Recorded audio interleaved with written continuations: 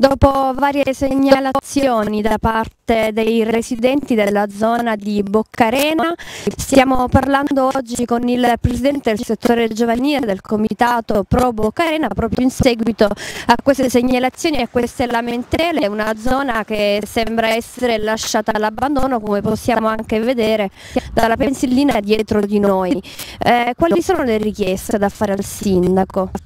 Sicuramente che prenda appunto in considerazione il fatto che i cittadini segnalano notevoli problemi. Noi abbiamo fatto la nostra segnalazione e io invito ai cittadini di, di stare sereni perché il sindaco del comune lo sa e nessuno ha abbandonato questo quartiere né tantomeno chi lo rappresenta perché appunto noi teniamo molto al quartiere dove, dove noi abitiamo, dove siamo nati. Quindi tutto quello che abbiamo sentito sentito anche su, sui mezzi di, computer, di Facebook, abbiamo detto comunque che i tempi sono, stati già segnalati e faremo il nostro meglio affinché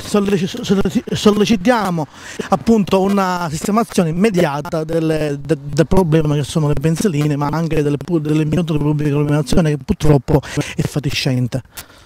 Quindi quanti sono gli abitanti, appunto le persone che abitano in questo quartiere? Sono tante, molte abitano qui sia in inverno che in estate. Sì, il quartiere si, si popola soprattutto l'estate perché è un quartiere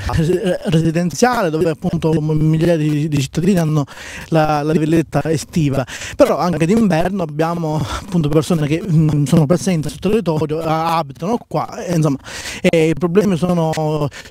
sovrastanti abbastanza sia dal punto di vista del trasporto urbano che anche appunto del, della pubblica illuminazione, del, dell'attesa dell'autobus che non viene, insomma, però stiamo cercando di a poco a poco di eh, risolvere questi problemi. Nessuno ha abbandonato nessuno e quindi appunto eh, cercheremo di eh, trovare delle, delle soluzioni per appunto tamponare queste problematiche.